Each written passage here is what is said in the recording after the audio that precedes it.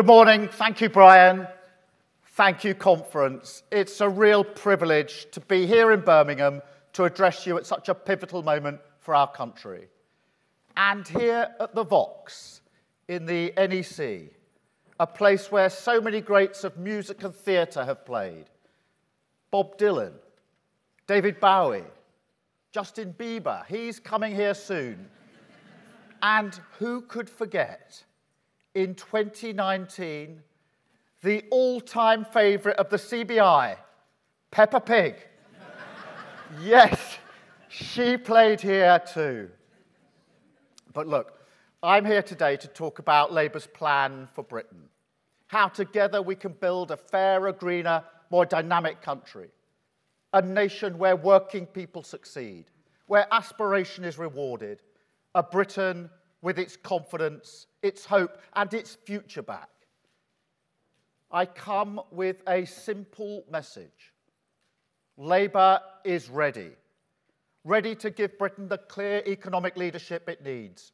Ready to work with you to drive our country forward. Not just a pro business party, but a party that is proud of being pro business, that respects the contribution profit makes to our jobs growth and our tax base that gets that working people want success as well as support, understands that backing private enterprise is the only way Britain pays its way in the world. And mark my words, this is a matter of conviction for me, and I've united my party behind it. Anyone who came to our conference this summer, anyone I've met since being leader, more than 100 CEOs in the last six months alone, knows this already. This is a different Labour Party, and there's no going back. We're ready for partnership. And let's be frank, because we need to be. Partnership is not a nice to have, it's now an economic imperative. I don't want to waste too much time today talking about the government, but the economic damage they've done to our country is immense.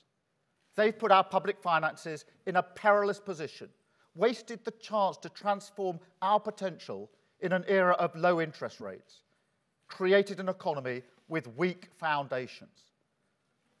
This isn't about global shocks. That's just an excuse.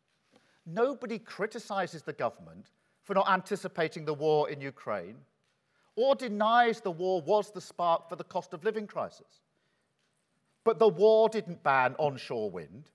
The war didn't scrap home insulation. And the war didn't stall British nuclear energy. And when it comes to economic growth, the verdict of the former Chancellor is right. They've created a vicious cycle of stagnation. And that's why every crisis hits Britain harder than our competitors. The only country in the G7 still poorer than it was before the pandemic disposable income back to 2013 levels, the worst decade for growth in two centuries. That's why we need a new partnership.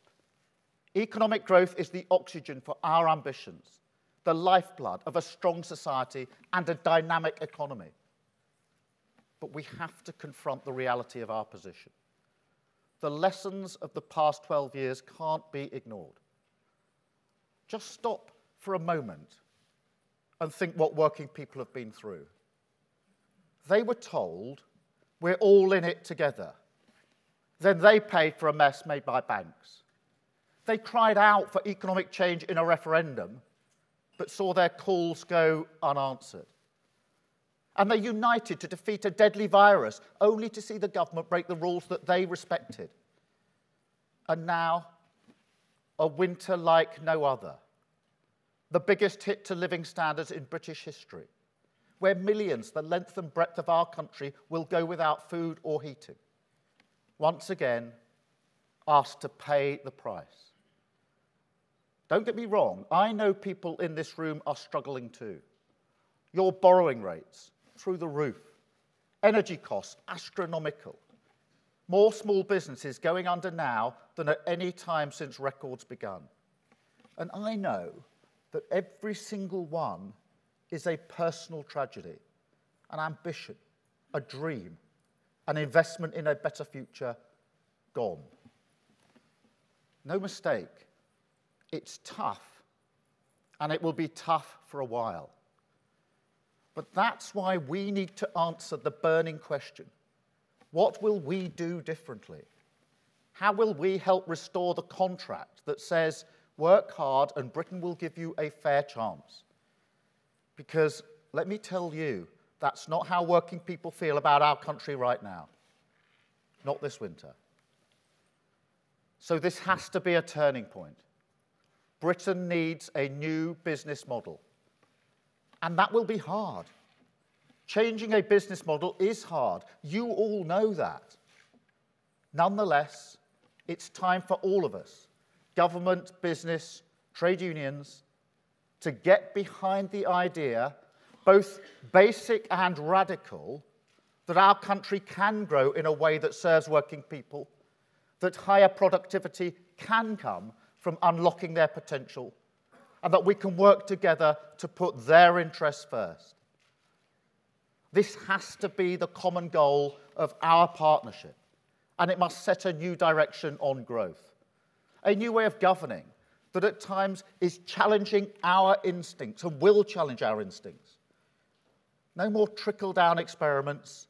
That idea has been tested to destruction.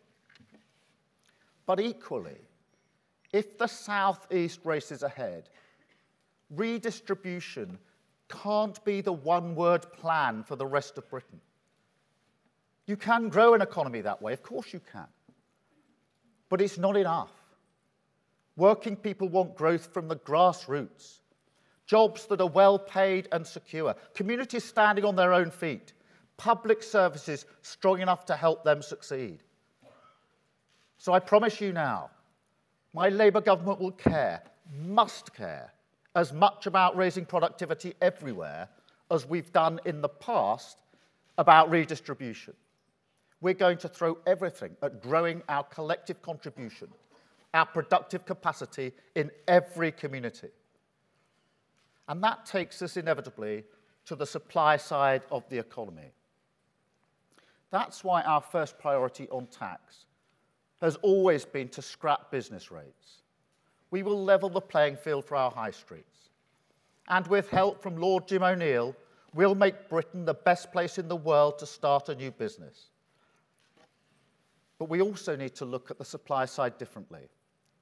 It's not just about tax and enterprise. Take the current state of our labour market. So much of this comes back to our public services. Yes, there are other factors. But you can't tell me that the number of older people falling out of work has got nothing to do with the millions stuck on NHS waiting lists. Or that the growing number of people suffering with mental health isn't a drag on our productivity. No, the state of our public services is an economic crisis just as much as a social crisis. So we will launch the biggest training program since the creation of the NHS. Increase capacity with more doctors, more nurses, more health visitors. Reform the employment service to get more people back to work. Give everyone who needs it access to mental health treatment within four weeks. And build a modern childcare system that supports parents, especially women, to flourish. This is what the US Treasury Secretary Janet Yellen calls modern supply side economics. And that's the philosophy that will drive us to do the hard yards on growth. But we'll also need to be pragmatic on the basic lack of people. We won't ignore the need for workers to come to this country. We can't have a situation, as we did with HGV drivers, where temporary shortages threaten to cripple entire sectors of our economy. That would be anti growth and it would be anti business. But I want to be clear here. With my Labour government, any movement in our points based migration system, whether via the skilled worker route or the shortage occupations list, will come alongside new conditions for business. We will expect you to bring forward a clear plan to boost skills and more training, for better pay and condition, for investment in new technology. Now, we can talk about how this is done. Dialogue is at the heart of partnership. But negotiation with trade unions will be part of it. I said at the TUC conference, my Labour Party is unashamedly pro business. And I say here today that trade unions must be a crucial part of our partnership. But our common goal must be to help the British economy off its immigration dependency, to start investing more in training workers who are already here. Migration is part of our national story, always has been, always will be. And the Labour Party will never diminish the contribution it makes to our economy, to public services, to your businesses, and our communities. But let me tell you, the days when low pay and cheap labour are part of the British way on growth must end. This isn't about Brexit. All around the world, business is waking up to the fact we live in a new era for labour. And while they're adapting, our low growth model is holding us back. It's why we've set out a new deal for working people that will deliver higher pay, stronger rights, and better work. Not just for social justice, but also for the new reality on growth. Let me give you an example technology. Britain has fewer industrial robots than almost every comparable country. We're behind Germany, France, Spain, Slovenia, Slovakia, Belgium. It's a long list. And in terms of competition over the long run, one that borders on disaster. Now, I know most businesses get this. I've seen for myself how you invest in your people and their productivity. At Vaillant in Derbyshire, I met the apprentices using their skills in conjunction with the new technologies of heat pumps. That technology will continue to adapt. But those apprentices will be at the forefront of that change, working today, training for the opportunities of the future. But when we look at the economy as a whole, it can seem like we're more comfortable hiring people to work in low pay, insecure, sometimes exploitative contracts than we are in investing in the new technology that delivers for workers, productivity, and our country. And we can't compete like that. Britain's low pay model has to go. It doesn't serve working people. It's not compatible with grassroots growth. So let me tell you what is.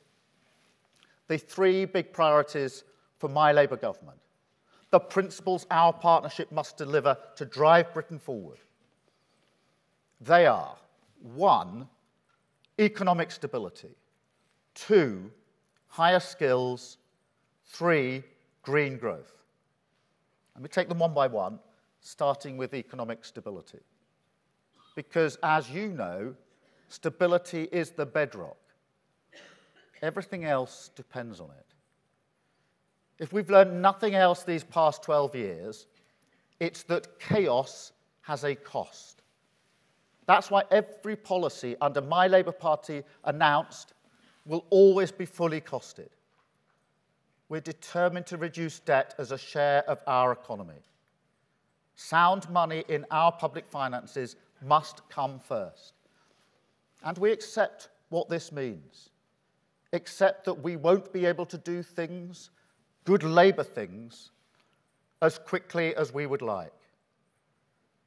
The lesson of the last few months is stark lose control of the economy, and it's businesses and working people who pick up the bill. And I won't let that happen again. But real economic stability has to be about more than public finances. It has to be about providing the right conditions to plan and invest, to think about long term strategy, not just short term fixes, to create confidence through certainty. That's the argument for partnership. It's why we're so committed to a modern industrial strategy. It's not about the size of the state, It's about what the state does, how it supports businesses to innovate and grow, brings in the creative brilliance of our scientists and universities, applies them to creating the industries of the future, and uses whatever tool the job requires. Procurement, R&D investment, patient finance, a strategic plan for infrastructure and supply chains. Led by an institution, a new industrial strategy council that sits outside the political cycle. Now, I know this isn't the sort of stuff that sets Westminster pulses racing, not a bit of it. But I can tell you this in every one of our competitors, it's the bread and butter of responsible economic management. Now, yesterday, I went on the Gov UK website in search of the government's industrial strategy. This is what I found. It says, reading from it, the aim of the industrial strategy was to boost productivity by backing businesses to create good jobs. Was. And scratch, scratched across the top is one word, I kid you not archived. archived. Doesn't that just tell you everything? The government has archived Britain's growth. That's why situations like Britishvolt keep happening. Why the CEO of Johnson Matthey says we're falling behind in the race for clean hydrogen. Why electric car manufacturers are leaving Britain in droves. Our aversion to proper long term industrial strategy is costing us billions already. But even worse, it's costing us the foundations of a more prosperous future. And, conference, so will the status quo on skills.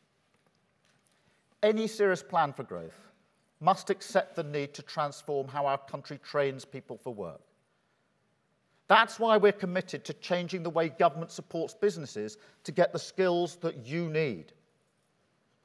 At this conference last year, I announced that Lord Blunkett would lead our Council of Skills Advisors. And this year, I'm pleased to announce that he's delivered that report and we're going to deliver on skills. The apprenticeship levy is not flexible enough. Now, don't get me wrong, apprenticeships are a gold standard qualification. Their record in tackling the cultural snobbery associated with vocational learning is second to none. But alongside them, we also need to fund the training that works for you. The need for technology short courses that train coders in weeks, that help younger workers get promoted. The training that supports older workers to flourish or retrain as something new. And let, you, let me tell you from personal experience there's nothing wrong with changing your career in your mid 50s. But the bottom line is this you need more control over what training your levy can buy. With Labour, that's exactly what you will get. And we'll devolve the power and money on adult skill budgets as well. Decisions that drive growth, growth in communities should be made by people with skin in the game. I profoundly believe that the people and businesses of Birmingham know what training the economy of Birmingham needs. And the same is true in Wolverhampton and Wrexham, Peterborough and Portsmouth. The next Labour government will spread economic power to the grassroots. And our central industrial mission Clean power by 2030 will help us do it. Climate change is the defining social challenge of our times. There's no question about that. I'm sure it scores highly on the risk register of every company in this room. But if you take only one thing from today, let it be this. I don't see climate change as a risk, I see it as an opportunity.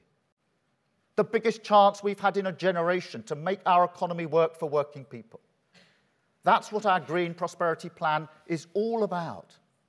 A plan to make Britain a green growth superpower, to invest in wind, solar, nuclear, hydrogen, green steel and carbon capture, new opportunities for plumbers, electricians, engineers, software designers, technicians, builders, insulation for 19 million homes, and Great British Energy, a new national champion that will take advantage of the opportunities in clean British power and turn them into good, secure, well paid British jobs. You can never say it enough. Clean British power is cheaper than imported fossil fuels, nine times cheaper. If we have more of it, businesses and working people will get cheaper bills. The country enjoys independence from tyrants like Putin. And we give every community a shot at the green jobs of the future. Clean hydrogen in South Yorkshire, Merseyside, and the east of England. Offshore wind in Scotland, Teesside, eastern North Yorkshire.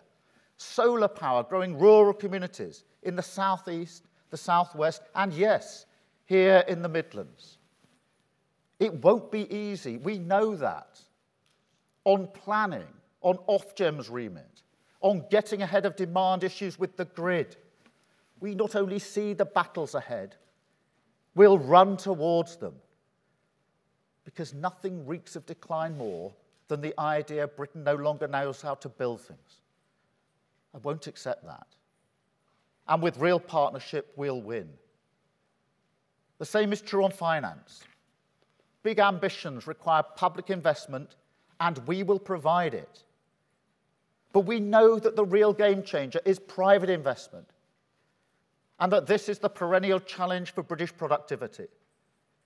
That's why we'll also set up a national sovereign wealth fund and use it to manage risk on the critical investments we need to become a green growth superpower but also to create spillover opportunities for businesses and supply chains right across the country in manufacturing and services.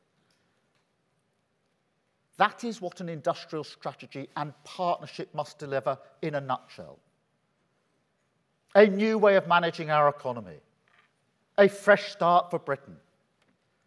And it's a divide with the government. Last week, you saw the sum total of their offer on growth.